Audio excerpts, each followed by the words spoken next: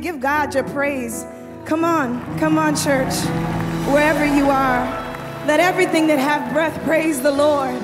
This is the day that the Lord has made. I will rejoice and be glad in it. The joy of the Lord is our strength.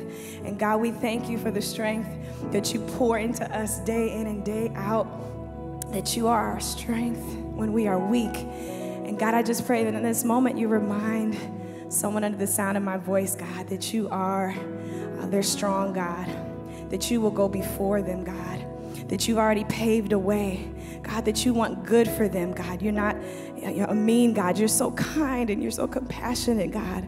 So may we feel that in this moment. Would you wrap your loving, strong arms around your children, God? Would you whisper to them? Would you remind them right now, in the name of Jesus, that you are working all things together, even the things that seem out of sort, all the things in our lives. You're working it all together for this church, for such a time as this. And no weapon formed against your body of Christ, your people, will prosper. And we declare all of this in the mighty, strong name of Jesus. Church, say amen. Amen. Well, you can go ahead and have a seat as we continue.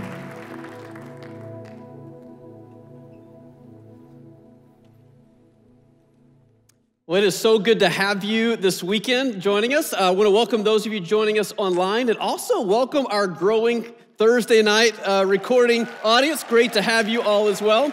And just so you know, if you're joining us online, though we are a growing audience in our recording, there's still room for you. So we'd love to have you in one of our upcoming Thursday night recordings. Uh, we want to let you know that the, we as Willow Creek, we are a church that really wants to connect people to Jesus, really connect with one another in a meaningful way, and really build community. And we also want to be a, a transformative community as we relate to our world. And so if you'd love to get more involved in Willow Creek, we would love for you to do so. You can find out more how by just going to willowcreek.org slash next steps. Now, a couple of really important things we want to let you know about. Uh, as we've mentioned to all of us, we are very excited to put a target on the calendar March the 7th that we're going to be reopening in person worship on the weekend. So we're really excited about that. And so make plans to, to join us uh, on March the 7th. Now, one of our greatest needs on March the 7th is going to be in the area of volunteerism.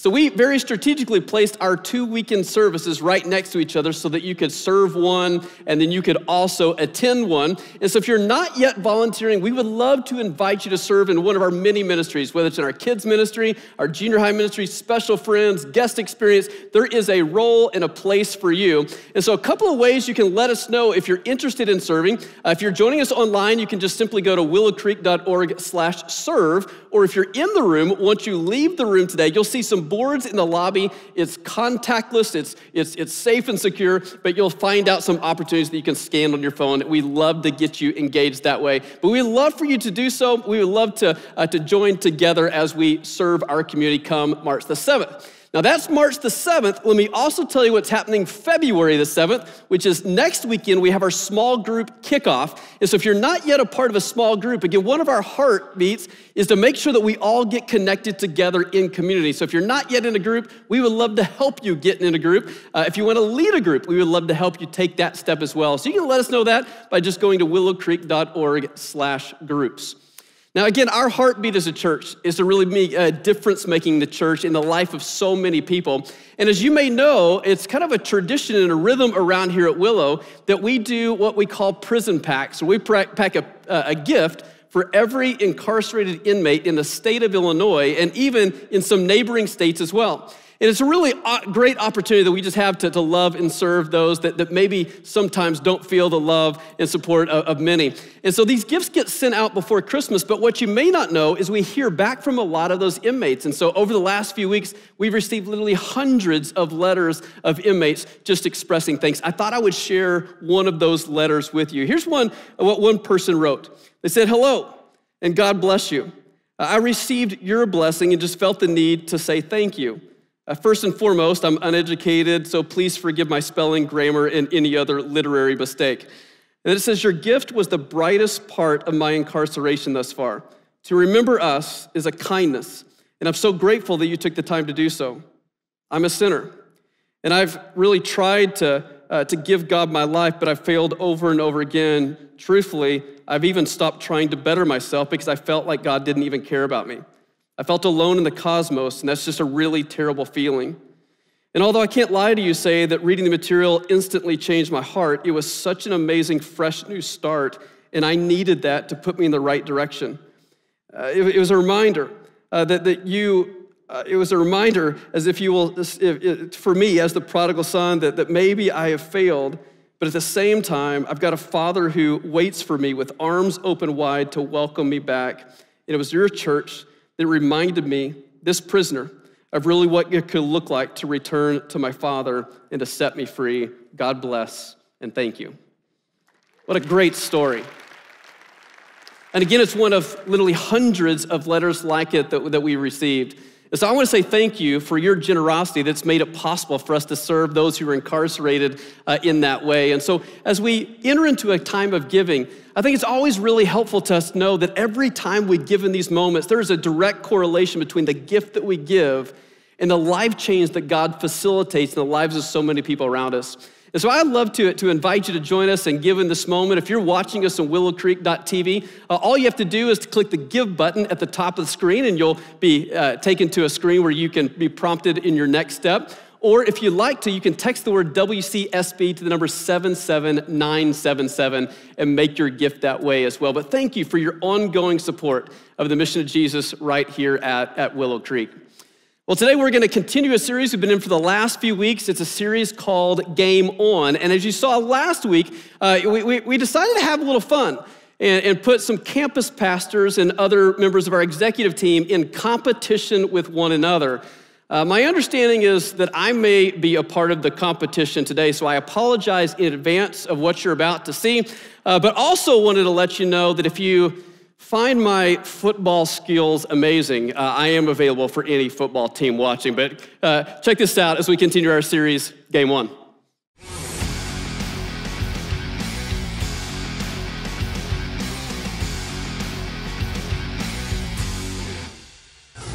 What's up, Willow? Thanks for joining us today as we kick off the fourth week of our Game On series. The sportsmanship between these teams last week, Lauren, was off the charts. Absolutely. And I really can't wait to see what they bring this week. Joe, these teams are really bringing their A game, and I'm sure this week will be no exception. Today, two new teams will be competing in our field goal kickoff challenge. In this challenge, each team will need to choose a kicker and a placeholder. And we also have Rob Campbell here on injured reserve to be our long snapper for both teams. Each team will get two attempts at kicking the ball through the goalpost at the end of the field. The team with the most kick wins. All right, Lauren, give us a rundown of the teams. All right, the teams for today's game will be Sean Williams and Sandy Riggs, then Nat Bodmer and Ed Ollie. We got Rob, we got Nat holding, we got Ed kicking. It's gonna be fantastic. Let's go. It's a stiff breeze. Blue fire, see what we can do. Hike. Nat with the All hold. right, with the the kick is up, and it is Oh, just a bit outside. wide right. Just like that much. Wide right. Wide right, my friends. Well to the right. It's okay though, because as I told you, you gotta just dust yourself off and try again. Hiking in, we got Sandy holding it, and we got Sean, Sean kicking. kicking. it. Sean is lining up his kick right now. I'm just saying, it looks like he's pretty serious. Here we go. The hold is down, my friends. The kick is up, and it is Oh! No good, my friends. That was not good. let's, let's redo. Hey, I might need some ice for my leg after this is over. Blue 42, hike. All right, Nat with the hold. The kick is up, and it is Oh. Wide right. Even wider than we thought. Even wider than the last one, ladies and gentlemen. Even wider. You ready? You ready? Okay, hut, hut, hike! Hike. Oh, the hold is a down. Nice. The kick is up, ladies and gentlemen, and it Oh, is oh, good. The kick Beautiful. is good. The celebration, it is on, my friend. Love Party time. Incredible. Rob, Sean, and Sandy. That was phenomenal. It's been a tough round for all of us. Um, kids, don't give up hope at home. one day you might be able to kick bad field goals like me.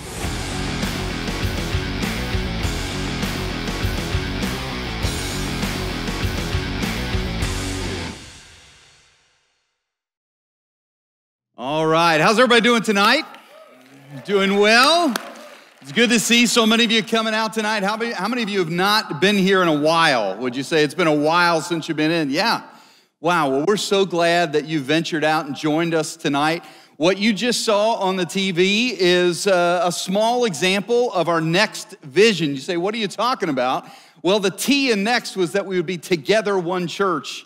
And one of the ways that we're doing that is bringing campuses together, campus pastors together, departments together, and try and work together more strategically.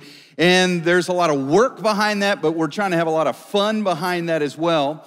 And that's a fun example of what's beginning to happen. But I also want to share with you kind of a, an important example of one of the ways that that has happened. Uh, this week, um, we got together as a staff, our all staff, where we brought all of our staff together, brought them together socially distanced over in the other auditorium, uh, Lakeside.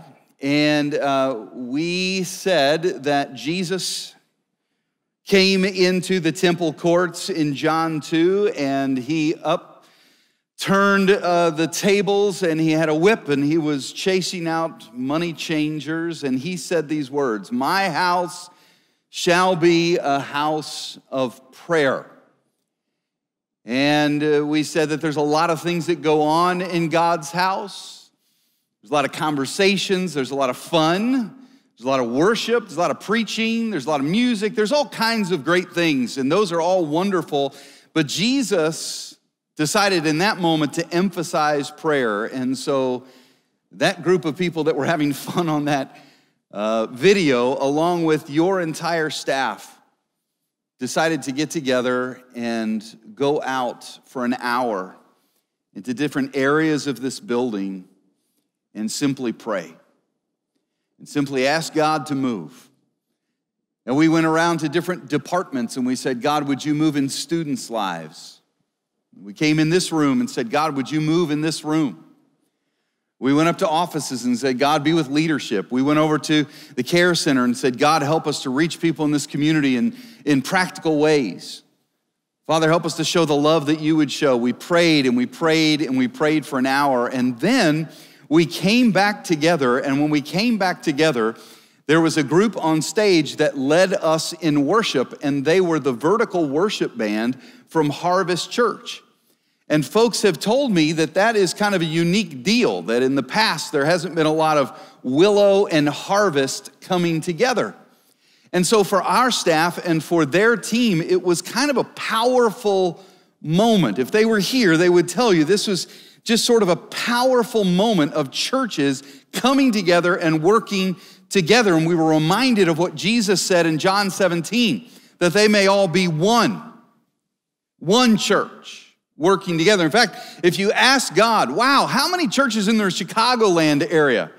If you ask you and me how many are in the Chicagoland area, we might get out the yellow pages or we might start Googling and say, well, there's the Methodists over there and the Baptists over there, and you got the Pentecostals over there, and you got the Presbyterians over there, and you got Harvest over there, and Willow over there, and missions over there, and communities over there. And God would say, whoa, whoa, whoa, whoa, whoa, whoa. There's one church. It's my church. Amen? And we ought to all be working together. So I just, yeah, give it up for that. I just wanted to share with you what you are walking into today. You are walking into a house that has been prayed for. There is a new wind blowing in this place, and we welcome it and we ask God for more of it. And I tell you all that, that has nothing to do with what I'm talking about tonight. That was just all for free tonight, all right? Uh, but with that in mind, let me pray for us as we begin, all right? Dear Heavenly Father, we, uh, we don't ask for your presence to fill this place. We know you're already here. We just ask that we become more aware of it. We pray, God, that in a sense, uh, when Jesus said, Let those who have eyes let them see, those who have ears let them hear, God, help us to have spiritual eyes, help us to have spiritual ears to see and to hear what it is that you would have for us tonight. We're talking about something so practical, God, something so everyday, and yet something that has had so much power in our lives, so much power in our relationships. And God, probably something that we've talked with you about quite often. And so, Lord, even though we're talking about something very practical tonight, I pray that you, by the power of your Holy Spirit, would infuse it with the spiritual lessons that we need to have that would cause us to take our next steps with you. God, great things very rarely happen inside our comfort zones. And so stretch us and call us to something greater and give us the courage to follow you in that. It's in Jesus' name that we pray. Amen. Well, I got something in the mail this week, and, and I wanted to read it to you. Now, I, I hesitate to read this because, you know, normally I don't like to, you know, toot my own horn. But this came, and I just thought, man, you, you should know the kind of pastor that you have. It starts out Dear Reverend Dummett. Obviously, they know I am a man of God. It said, Congratulations, you are among the preferred, select few, pre approved for our most prestigious credit card. Did you hear those words? Preferred, prestigious, select few. It goes on and says, the card, this card is customized to meet all your needs. See, I thought God was supposed to meet all my needs, and I'm so glad to know that all I have to do is worry about this card. It says, enjoy spending all you want. You have set the standard higher, and there's only one platinum card that meets your needs. You deserve it. I kind of thought you would applaud for me in that moment. Like, I mean, that's a high achievement that I was able to reach. And of course, I'm being completely facetious because that's not the only time I've gotten a letter like that. In fact, I've gotten a bunch of letters like that. And you know what? I'm not special because you've gotten a bunch of letters like that, offers like that. In fact, Visa sent one to a three year old one time. And MasterCard sent one to a dog one time.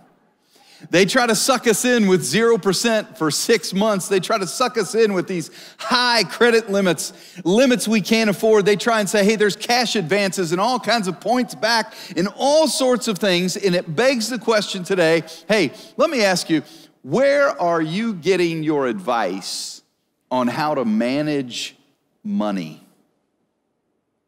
Where are you getting your advice on how to manage money? Jesus over in Matthew 25. Now, this is interesting to me because this is kind of like right before he's going to the cross. So, the last things that he's saying, he talked about the sheep and goats, he talked about the prodigal son, he talked about some really important things. And one of the things he gives us is a parable about a business owner who, before he goes away, gives certain sums of money to three people. And there were different sums of money, and he gives them to the people, and he goes away. And the idea is that at some point he comes back and he holds them accountable. He sees how they did at managing his money. And what Jesus points out for us is really the key to this whole concept of managing money, and that is that when it comes to our money, it's not really our money at all. In fact, it's not the only place in Scripture that that concept plays out. If you look in Haggai 2 8, it says, The silver is mine, the gold is mine, declares the Lord Almighty. 1 Chronicles 29 12 says, Wealth and honor come from you. You are the ruler of all things. 1 Corinthians 10 26 says, The earth is the Lord's and everything in it. Okay, and so the gist of these verses and the gist of Jesus' parable is that our money is not really ours. It all belongs to God, and we are, we are charged with stewarding His resources, managing it in a way that hopefully when we see Him again, He'll say, Wow, well done, good and faithful servant. And you know, I want to know what God has to say about managing his money. I hope I'm not going to go to Visa or MasterCard or really any financial institution. I want to figure out what God has to say, especially in a year after the year that we've had. Because this has been a year that has really put a strain on a lot of people's finances. There have been some of us who have had uh, a, a, depression, who have been, had boredom, who have had to, had to deal with lots of in the last year. And one of the ways that we've tried to deal with that is to try and make ourselves feel better by buying stuff. There are some of us who have taken the opportunity this year to say, you know what, I'm just going to go ahead and because I want to get this done and that done, I'm going to go ahead and run up more debt on my credit card. There are those of us who have had job loss, who have had wages lost, businesses lost, entire sectors of economy hit in negative ways. Man, you better believe this is a moment where I want to see God, what do you have to say about money? What do you have to say about your money? What do you have to say about the way that I manage what you have given me? And so that's what I want to do with you tonight. I mean, we've never talked about this before, and I know it can get a little tense in church when you talk about money in church. People kind of look at you like, oh, goodness. But I just want you to relax. I just want to give you a couple basic principles from Scripture in regards to what God would say about managing his money. And the first one is from Colossians 3 23. It says, Whatever you do, work at it with all your heart. There's a passion to the work that we should have, as though you were working for the Lord, not for human masters. In other words, we ought to work hard. We ought to be hard working people. God says, no matter what what is the name that signs your paycheck? Or, or, or, or, no matter what the name is above you on the org chart, or whoever it is that gives you your review, you're not really working for them. You're working for God. And so, how much more should we work with passion? How much more should that inform the way that we do our work? Willard Pierce uh, wrote a biography of John Wesley. Any Wesleyans in the house? Any Methodists in the house? I went to a Wesleyan school. And John Wesley started the Methodist movement, the Wesleyan movement. And he said this uh, Willard Pierce said, Wesley's teaching in regards to finance was very simple, based on Colossians 3.23, the verse that we just read. Wesley would teach his Methodists to earn all you can, save all you can, and give all you can. Just very simple. He said the work ethic, this is what's interesting to me, the work ethic of the Methodists became a hallmark of their movement. It was common practice for business owners to seek out Methodists because of their reputation as dependable, honest, and hardworking employees. Did you hear that? I mean, that's just a real interesting byproduct of people following God's word in regards to Colossians 3:23 and it just makes me wonder what it could be like in our cities if when we went for a job interview and they were asking us, oh, let's review your resume, tell me a little bit about yourself, and you say something like, well, yeah, you know, and in my family, our faith is really important, and your employer starts to lean in like, what do you mean? And you say, well, I, I don't know. I, I you know, I, we go to uh, Willow over there. Uh, we're followers of Jesus. And they go, oh, Oh my goodness, we've had some of you Christians before. You guys have got a reputation, and of course, now you're just like freaking out. What is he talking about? But he said, No, we've had you before because you guys are some of the most hardworking, some of the best attitude, some of the people with, with just the most integrity. You should have told me earlier on you're a follower of Jesus. Well, come on. I mean, wouldn't that be cool? That's what was happening with these people. They got that kind of reputation because they thought of themselves as working for God. And I'll tell you this on the days where it feels like, man, I just don't even know, you know, what am I doing all this hard work for? I mean, don't you feel that way sometimes? It's kind of like, man, it's Monday again, and I'm just thinking I'm working for the weekend, or I'm just working for, you know, the end of my career, or I'm just working for me. I think there's a little more inspiration, a little more motivation when I think, actually, I'm working for God. And And the Bible talks a little bit about a connection between hard work and financial reward. Uh, it says in Proverbs 28 19, those who work their land will have abundant food. One man said, extraordinary people are just ordinary people who are willing to do the ordinary things other ordinary people aren't willing to do. Working hard. Proverbs 21 5 says, the plans of the diligent lead to profit. And so we don't want to be workaholics, we don't want to go overboard, but you know what? I want to work as though I'm working for God with a passion. I want to work hard. You know what else I think the Bible would say to us? What I think God would say to us about managing our finances? I think God would say it this way. Now, give me a little leeway. I think God would say, ignore those Joneses. You know who I'm talking about? You know who the Joneses are? These mystery people that kind of live down the street from us that we're in sort of a competition with. This idea that when they get a little add on three season room to their home, we sort of feel like, man, we got to get a three season room home in our house. And when they come home with a, a fancy new car, we think, oh my goodness, we got to get a fancy new car. And when you're talking to them out getting the mail and they say, yeah, we're, we're going out to, to Europe this weekend, you know, flying out. And you're like, ah, I want to go out to Europe this weekend. Somebody said many of us are spending money that we don't have on things we don't need to impress people we don't even like all that much. Does that sound familiar? God says, you know what, keeping up with the Joneses is kind of pointless. You know what he says in Ecclesiastes 6? By the way, through the richest man who ever lived. I love to hear from people who have been there and done that. And King Solomon was that guy, especially when it comes to success and riches. And, and he said this enjoy what you have rather than desiring what you don't have. Just dreaming about nice things is meaningless. It's like a, it's like a chasing after the wind. In other words, you're never really satisfied.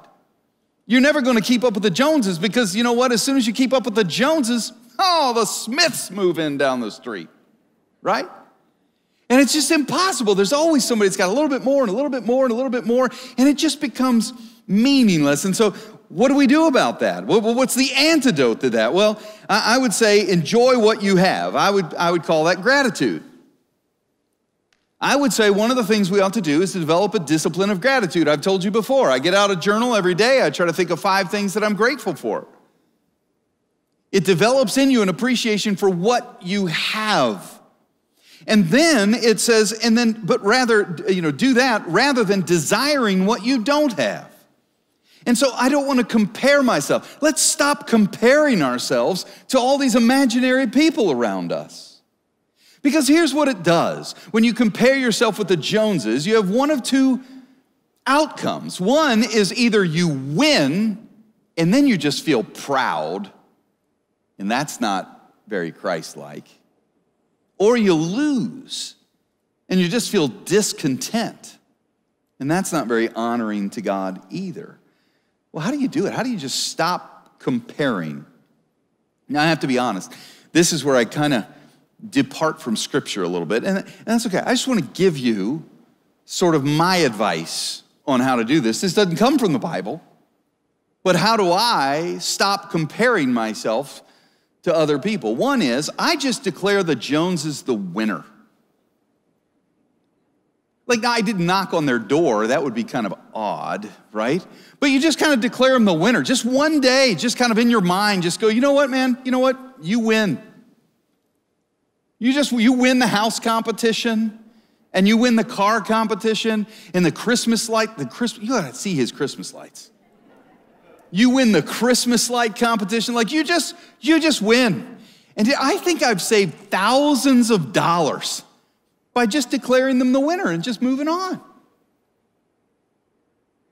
Another thing I do, and th- this is maybe less advice and more confession, okay? And I'm just being real, I'm just being authentic. Is that sometimes, because I'm a car guy, sometimes when I'm, wa- when I'm driving down the road, I'll see somebody in a really fancy car. And I just, oh, I just have a, so I just kind of make up their backstory. I just go, hey, you know what? That guy's probably not happy.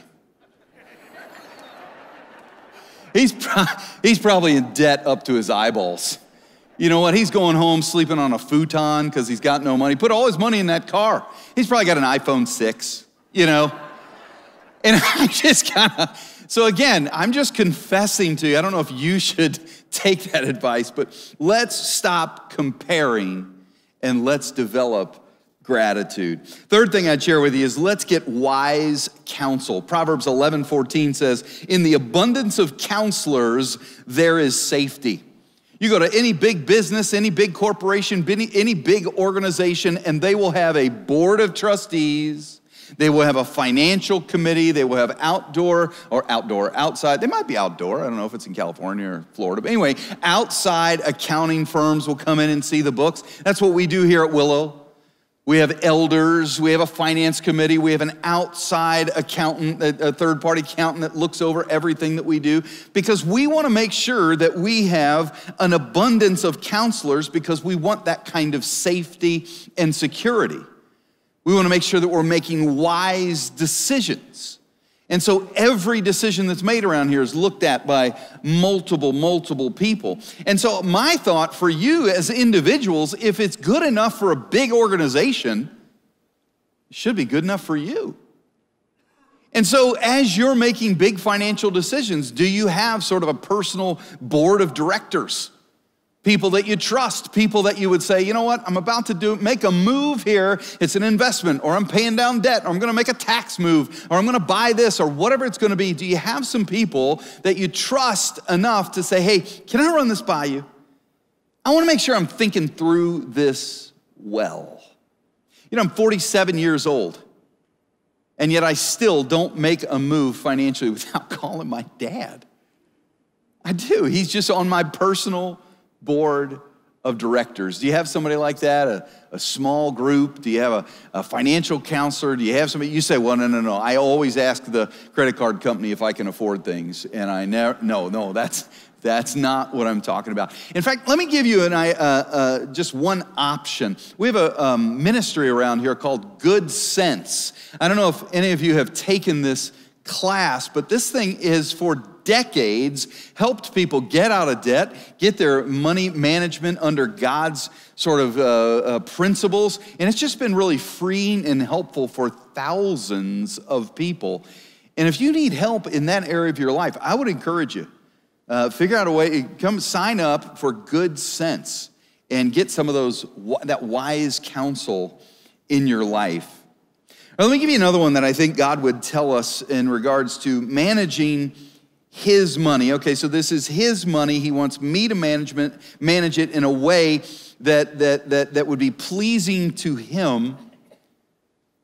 I think we ought to give a tithe back to our local church. And you say, well, I would expect you to say that because you're a pastor and we're in a church and it takes money to run the church. But I'm not really saying that because we need to pay the bills. And I know we're just getting to know each other, and you don't know my heart, and you don't have any real reason to trust me. But I can just tell you that if we sat down over coffee, I would look you straight in the eyes and I would tell you, I believe that this is one of the most important financial principles, not for the church, but for you. And that when I talk about giving and generosity, for me, it is not because I want something from you, it is because I want something for you. And I really believe that that's why God talked about the tithe in Scripture, is not because He wanted something from you. The truth is, God owns it all anyway. It's that He wants something for you. He wants you to be able to trust Him with your money. The number 10 in Scripture often has been related to tests like the plague or the Ten Commandments, the tests of faith. And I think a tithe kind of fits in that mold. Now, some of your theologians, you know, say, well, hold on a second. I don't know if that's really a, a, a law in Scripture. And I would say, well, I totally agree. It's a much broader concept than that. It was happening with Abraham and Melchizedek before the law was given. It was given as part of the Mosaic law. And then when Jesus came and was establishing the new covenant, Jesus actually affirmed with one of the, uh, the Pharisees, affirmed the tithe. And so if it's something that's happening before the law, during the law, and after the law, I think it's a pretty good practice for us as well, giving 10% of our income back to God. Now, I'm not the only one that thinks so. It's really interesting. David Bach, not even a Christ follower, wrote a book called Automatic Millionaire. And in it, he says, Give a tenth of your income away because it tends to be true. It will come back to you. Uh, we find that the most successful people are givers. It's just something that he has observed over time. I don't think he knows much about God at all. At least that's not what the authority that he was appealing to in his book. But what's inter- interesting about what he noticed is that that principle is all throughout Scripture. This concept of when God gives a great challenge, he often gives a great promise to go along with it. And what God says is uh, many times when he talks about giving and sacrifice and that sort of thing, he will often follow it up with, hey, and there's a great promise that goes along with that. In Proverbs 3 9 through 10, it says, honor the Lord with your wealth with the first fruits of all your crops. Then your barns will be filled to overflowing, and your vats will brim over with new wine. And you say, Great, because I'm not a farmer, so that doesn't apply to me at all. But you don't say that because you're a lot smarter than that, and you know that that's a metaphor, right? And you know that what God is saying in there is, you know what, put me first in your finances, and you will see promises, blessings, begin to happen in your life. Now, I need to say this because we don't know each other all that well, is that you might look at me and say, oh, here we go. What you're saying is I give 10, 10 bucks and God's gonna make sure I get 11 back. And I didn't say that at all. Because I think what God gives in His promises and that blessing, sometimes it's financial. In fact, there's a lot of people that would testify that what they've done with their tithing and how God has come back and changed their business or changed their life or changed their whatever, that will happen sometimes, but sometimes God blesses in a different way. See, this is why this is something that's really passionate topic for me, even though it's just a practical topic, it's really passionate for me because do you know that 60%? Of people that get divorced identify money as one of the key reasons why. You know, there are people that are in debt up to their eyeballs and they can barely sleep at night. You know there are people that are swimming in money and yet feel no purpose in their life, no joy, no peace because they haven't figured out how to steward God's resources well. So I think the promise comes, the blessing comes, but it's not always financial. Sometimes it's peace of mind. Sometimes it's peace in relationships. Sometimes it, it will manifest in a way I've heard people say, you know what, I've had cars that I feel like because of, they've just lasted longer. In fact, you know what, I've determined that the people that owned our house before us were tithers because our air conditioner is 22 years old. That was kind of a joke, but maybe it was just funny to me. I just, I just look at a 22 year old air conditioner and I'm like, this is a miracle. This is a modern day miracle. The thing's still going. Anyway, or how about this, just the joy of giving? Just the joy of generosity. Now, Jesus said it's more blessed to give than receive. I feel like you're getting quiet, you're getting a little tense, and that I'm stepping on your toes. So let me move on to the next point saving. Saving. Do you know, Social Security people will say that 2% of Americans reach retirement financially independent? 57% of us in the United States have $1,000 or less in savings. That's not right.